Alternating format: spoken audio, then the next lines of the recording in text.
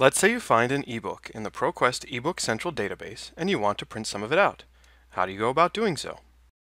First, click on the title of the book to see all the different options. Unfortunately, eBook Central will often only allow you to print out selected pages, though you can always read the full ebook online or check it out using their th free third-party software for a short number of days to read offline on your own device. There are a number of ways to print in eBook Central. The simplest way is to download a PDF of the chapter you want to print out, and then once you have downloaded it, print it out as you would any other PDF. When you click on the Download PDF link, it will prompt you to sign in using your Odin account. Then, once you are back, click on the Download PDF link again and check out the book. Click on the Download PDF link one more time and this will allow you to download a PDF of that chapter and print it out. Once you have checked out the book, you have another option for printing as well.